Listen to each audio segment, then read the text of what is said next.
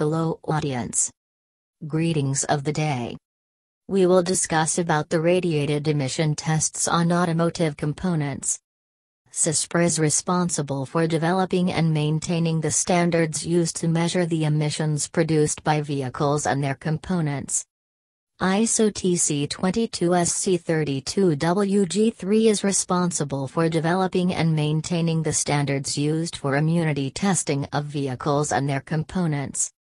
ISO standards for the vehicle industry are mainly broken into two categories vehicle, ISO 11451-20, or component, ISO 11452-20. ISO 7637-20.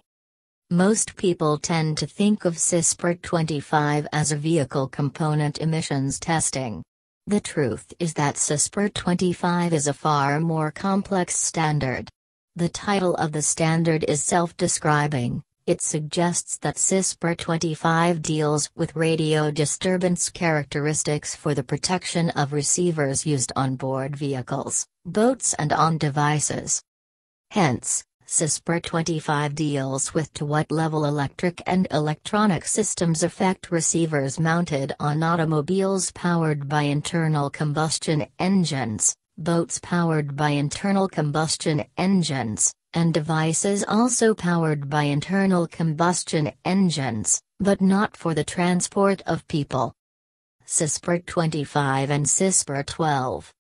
Both CISPR 12 and CISPR 25 deal with automobiles, vehicles which operate on land, powered by internal combustion engines, boats, vehicles which operate on the surface of water, powered by internal combustion engines, and devices powered by internal combustion engines, but not necessarily for the transport of people. CISPR 12 deals with the radio disturbance characteristics for the protection of off-board receivers. It is important to remember that CISPR 12, the test methods and or limits, is commonly used for regulatory purposes. The regulatory bodies want to make sure that an item with an internal combustion engine does not cause unwanted interference with TV and radio reception when it drives past, or is used nearby, a residence or business. CISPR 25 deals with radio disturbance characteristics for the protection of receivers used on board vehicles, boats and on devices. CISPR 25 is not typically used for regulatory purposes, it is commonly used by the vehicle manufacturers to assure good performance of receivers mounted on board the vehicle. If the radio mounted in the vehicle, boat or other device does not perform reliably, then consumer satisfaction and ultimately product sales could suffer. CISPR 12 would apply to all of these devices since they could affect the performance of nearby, off-board, receivers. However, CISPR 25 should only be considered for items which contain on-board receivers.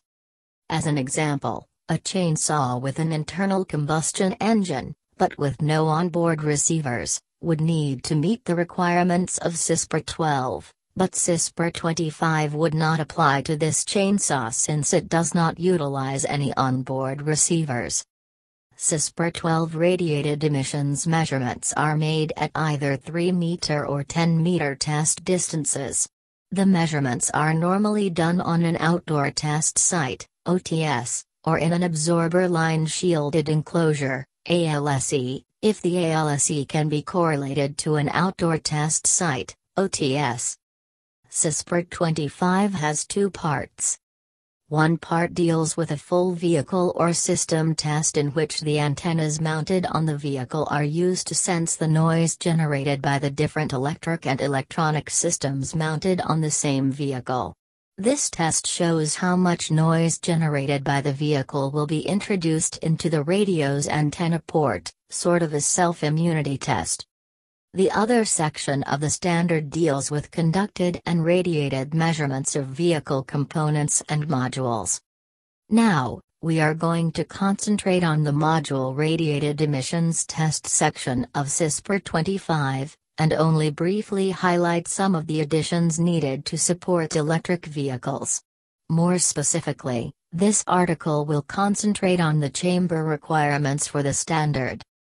CISPR 25 states that the electromagnetic noise level in the test area has to be 6 decibels lower than the lowest level being measured. Some of the radiated emissions limits found in CISPR 25 are as low as 18 decibels, microvolt per meter. This means that the ambient noise must be 12 decibels, microvolt per meter, maximum for a compliant environment. The two radiated emissions standards in common use, 95-54 EC and CISPR 25, share many common features in their chamber absorber lined screened enclosure, ALSE, test setup and the results of each are almost comparable. The almost is due to minor and often annoying discrepancies. For example CISPR 25 tests for radiated emissions specifies the ground plane at 0.9 meters from the chamber floor, 95-54 EC specifies 1 meter. It is also possible to do the tests on an open area test site, OATS, instead of a chamber, but the calibration for OATS is significantly more time consuming and consequently more expensive via a test service, hence the preference for absorber lined screened enclosure facilities for these tests.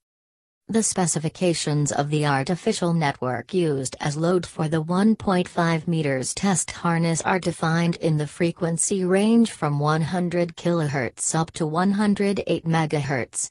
Nevertheless, measurements up to 1 GHz are required. As the radiation characteristic of an antenna, and the test harness acts as such, depends on the source and load impedances, different artificial network will show different results above 108 MHz. The radiated emissions of the test harness are measured in 1 meter distance in a fixed position of the receive antenna. It is a fact that the radiation characteristic of a wire antenna that's length exceeds 1 lambda shows multiple lobes. Furthermore, the test harness is laid out 5 centimeters above a metal plate. The coupling to this plate is a major influence to the radiation characteristic too. Minor changes, few millimeters, in the cable layout can degrade the repeatability dramatically. The minimum dimensions of the test bench, also called ground plane, are defined in CISPR 25, 2.5 meter wide, 1 meter long, and it is extended backwards horizontally to be connected to the shielding wall of the absorber line screened enclosure. Reflections from the edges of the test bench interfere with the direct signal, emissions from the test harness. Amplitude and phase of these reflections depend on the size of the test bench.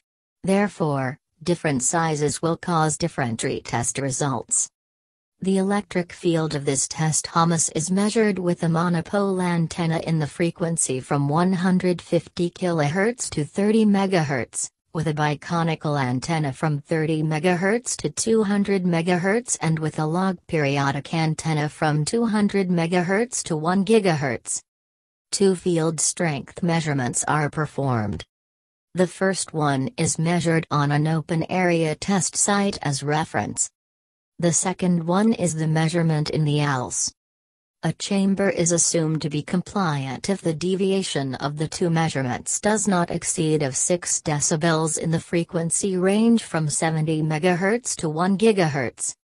One beneficial consequence of the low measurement frequency is the fact that the chamber sizes are electrically small at these low frequencies, so no significant resonant behavior appears. No limits are given for other frequency ranges. CISPR 25 in its current version, edition 3 of 2008, covers a frequency range of 150 kHz to 2.5 GHz and has broadband and narrowband limits. Broadband includes peak and quasi-peak detector limits.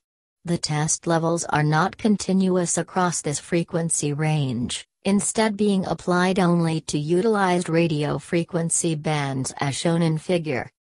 In CISPR 25 there are five classes of limit that can be applied, often the customer will specify these, if no specific customer requirements, that is for the aftermarket, then the manufacturer often performs the tests and applies whatever limit the European Space Agency passes.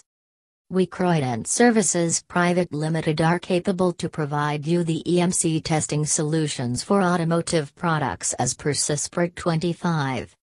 You can reach us on www.croydonservice.com or mail us on info at croydonservice.com.